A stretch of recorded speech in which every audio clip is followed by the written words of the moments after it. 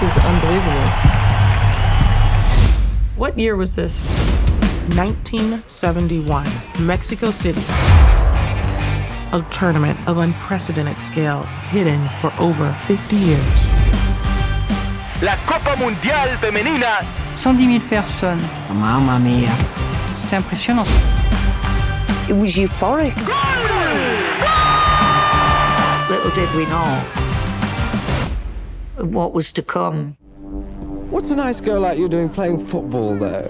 FIFA. They don't like anything about it. There's a lot of resistance. Non, je pense que sur l'échelon, c'est euh, un bon gag là-bas.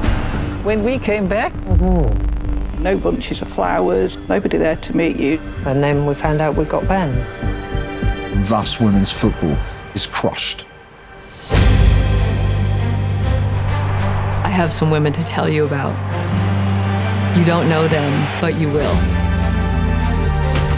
We paved the way for what it's become today. it was important for women to see that this was possible. These women were challenging so many norms. They're warriors. Perception of women's soccer has changed dramatically. There's no stopping us now. It's up to us to make sure that history is right.